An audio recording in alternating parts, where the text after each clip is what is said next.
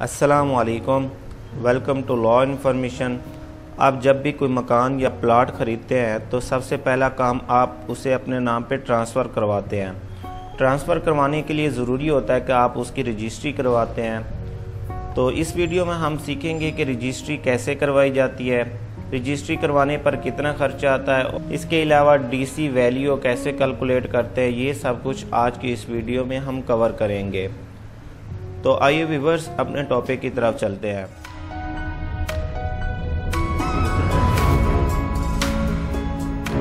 सबसे पहले मेरी आप सबसे गुजारिश है कि वीडियो को आप मुकम्मल वॉच करें। अगर वीडियो के किसी भी हिस्से को आप स्किप करते हैं तो आपको समझने में मुश्किल का सामना करना पड़ सकता है।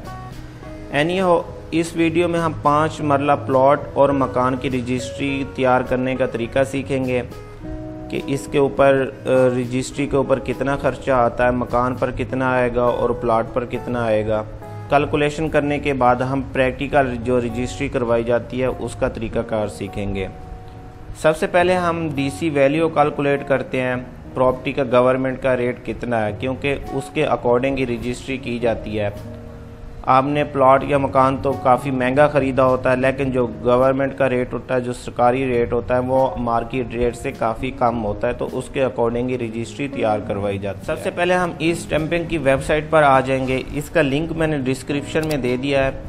तो आप जैसे लिंक पे क्लिक करेंगे तो ये वेबसाइट आपके सामने ओपन हो जाएगी। हम कैलकुलेट डीसी वैल्यूएशन पे क्लिक करेंगे। ये आपको नज़र आ रहा होगा कैलकुलेट डीसी वैल्यूएशन हम इसके ऊपर क्लिक करते हैं। जैसे हम इसके ऊपर क्लिक करेंगे तो इस तरह से वेबसाइट का इंटरफेस आपके पास शो होगा। सबसे पहले आपने डिस्ट्रिक्ट सेलेक्ट करना है। आप जिस भी डिस्ट्रिक्ट में रह रहे हैं, जहाँ पे आपने प्रॉपर्टी ख़रीदी है, जहाँ पे आप प्रॉपर्टी की रजिस्ट्री करवाना चाहते हैं तो वो आप डिस्ट्रिक्ट सेलेक्ट करेंगे। मैं यहाँ से लाहौर सेलेक्ट करता हूँ। फिर उसके बाद आपने तहसील सेलेक्ट करनी है। तहसील मॉडल टाउन उसके बाद टाउन देखना है कि कौन से टाउन में आपने जो प्रॉपर्टी परचेज़ की है, जिसकी आप डीसी वैल्यू कैलकुलेट करने हैं, वो बताना है। तो मैं जिसका करना चाह रहा हूँ, वो गुलबर्ग टाउन में आता है। इसके बाद रेवन्यू सर्कल होता है, गुलबर्ग में जितने भी एरिया हैं, वो सारे आपके पास शो हो रहे हैं। तो यहाँ से मैं कोट लाख पर सेलेक्ट कर लेता हूँ। उसके बाद आपने बताना होता है, आपने जो प्रॉपर्टी परचेज़ की है अनकंस्ट्रक्टेड है ग्राउंड फ्लोर फ़र्स्ट फ्लोर ये जैसे भी आपकी प्रॉपर्टी होगी तो आपने वो ही लिखना है। अगर आपका प्लॉट है ओपन प्लाट है तो फिर आपने अनकंस्ट्रक्टेड अगर बना हुआ तो फिर आप ग्राउंड फ्लोर सेलेक्ट कर सकते हैं। अगर कोई फ्लैट वगैरह है तो फिर आपने फ़र्स्ट सेकंड या थर्ड फ्लोर सेलेक्ट करना है। तो यहाँ पे हम अनकंस्ट्रक्टेड सेलेक्ट कर लेते हैं। प्रॉपर्टी का एरिया पूछा जा रहा है, कौन सा एरिया है? तो कोट लाखपत में जितने भी एरिया आ रहे हैं, वो यहाँ पे नज़र आ रहे हैं हमें। तो हम यहाँ पे लियाताबाद सेलेक्ट कर लेते हैं। जैसे हमने इसको सिलेक्ट किया तो नीचे हमारे पास पूछा जा रहा है कि ये जो प्रॉपर्टी है कमर्शियल है या रेजिडेंशियल है। इसमें से आपने अपने अकॉर्डिंग सेलेक्ट करना अगर कमर्शियल हो तो कमर्शियल नहीं तो रेजिडेंशियल सेलेक्ट कर लेना है।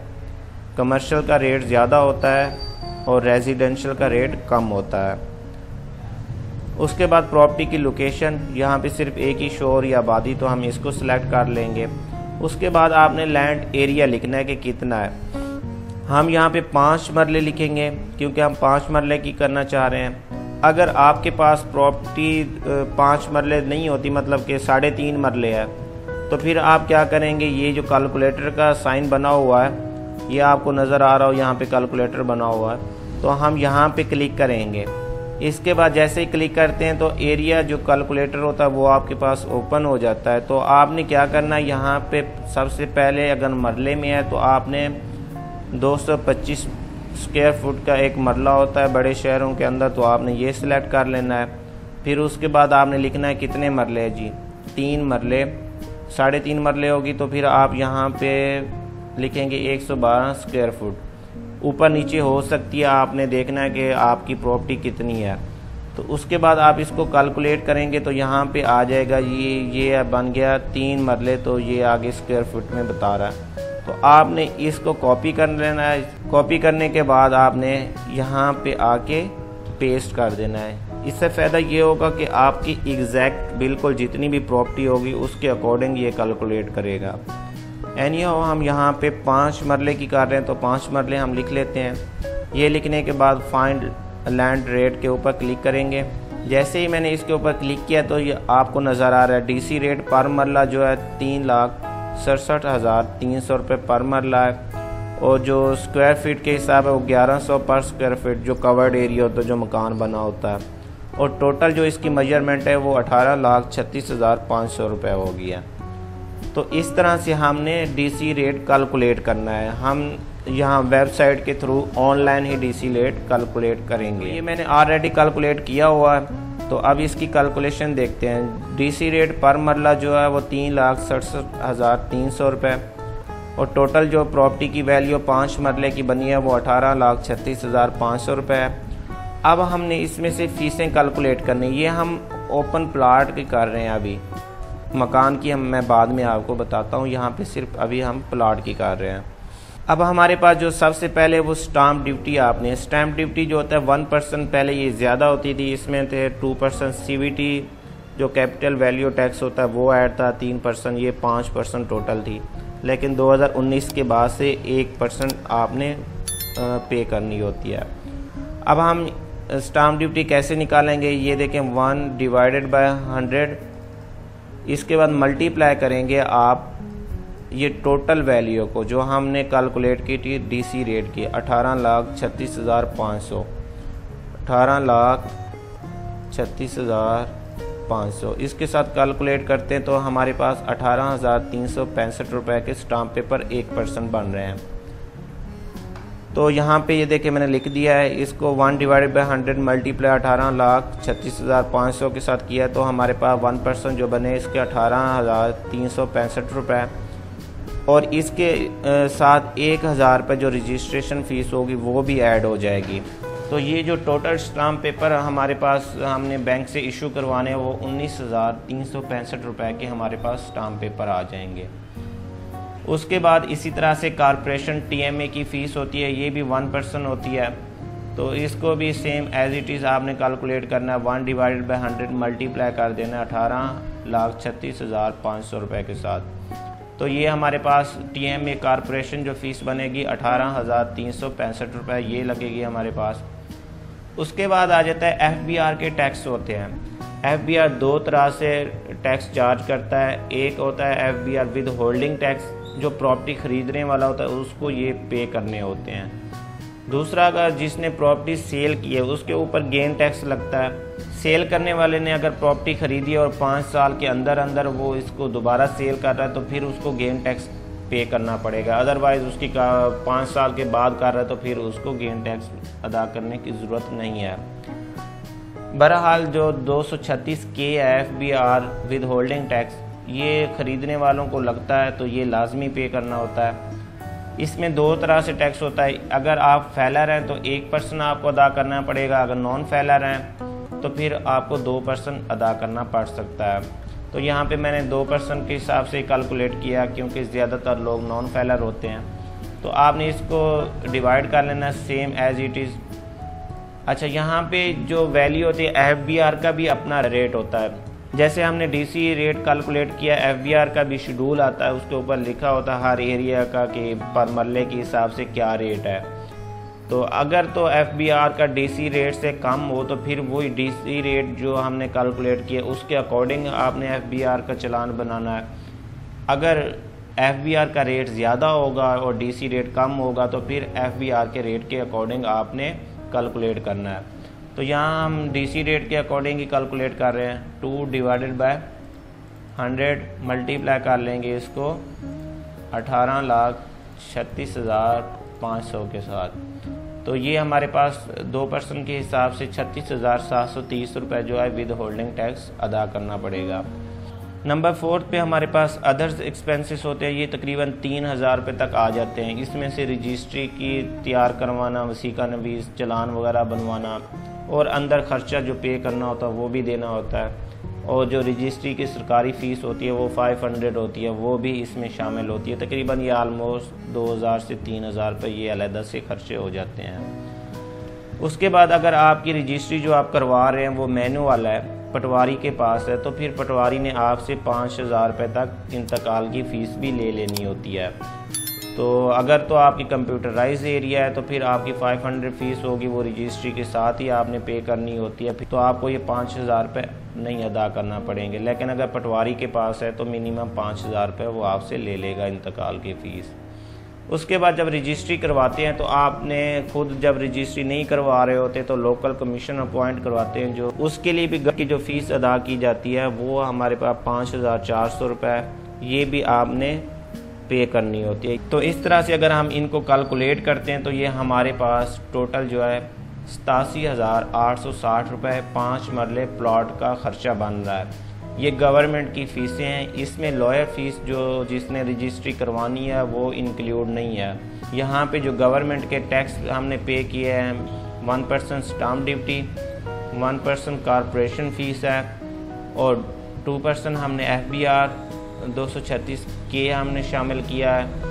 अगर फेलर होगा तो फिर ये वन परसेंट हो जाएगा, ये अठारह हज़ार तीन सौ पैंसठ रुपये बन जाएगा एफ़ बी आर का टैक्स लेकिन दो परसेंट के हिसाब से छत्तीस हज़ार सात सौ तीस रुपये बना था। उसके बाद अदर एक्सपेंसेस के अंदर तीन हज़ार रुपये आपने शामिल कर लेने हैं। इंतकाल फ़ीस पाँच हज़ार रुपये कंपेरिजन फ़ीस है पाँच हज़ार चार सौ रुपये तो इस तरह से ये टोटल हमारे पास सतासी हज़ार आठ सौ साठ रुपये बन जाते हैं। ये तो था एक प्लाट की रजिस्ट्री करवाने के लिए जितना खर्चा आएगा, उसकी कैलकुलेशन हमने की है। अब हम देख लेते हैं, अगर किसी ने मकान परचेज़ किया है कंस्ट्रक्टेड है तो उसका थोड़ा सा डिफरेंट होता है, ज़्यादा खर्चा आता है तो अब हम उसकी कैलकुलेशन करते हैं। मकान की DC rate calculation as it is same होती है बिल्कुल, जो हमने अभी देखा था।